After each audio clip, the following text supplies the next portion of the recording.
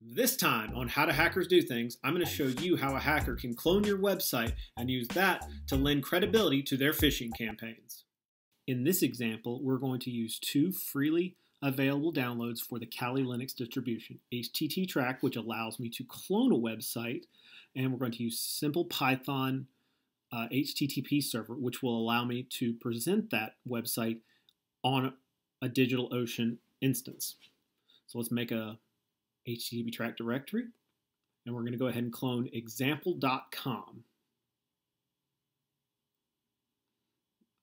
Now that we've cloned it, we're going to go ahead and use our simple HTTP server to serve it up.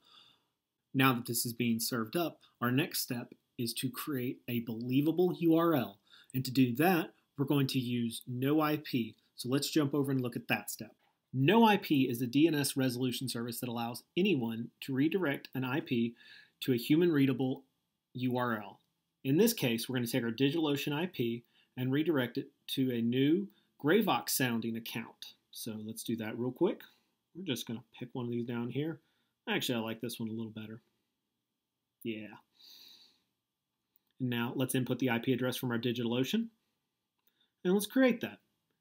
And now what we can do is go back over to that new human readable URL and it should show us our example.com.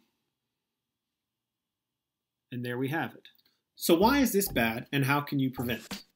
The simple answer is, is that a malicious actor can clone and steal your website and lend credibility to any number of campaigns, whether that is harvesting credentials, phishing, or any other malicious activity that is targeted at your company. There are many ways to prevent this through knowing what your vulnerability exposure is, through brand monitoring and domain monitoring. We at Gravox specialize in these various tools and techniques to help you prevent and mitigate these types of attacks. If you have any questions, please feel free to reach out. My name is Josh Jenkins, and I'm an information security consultant at and Associates.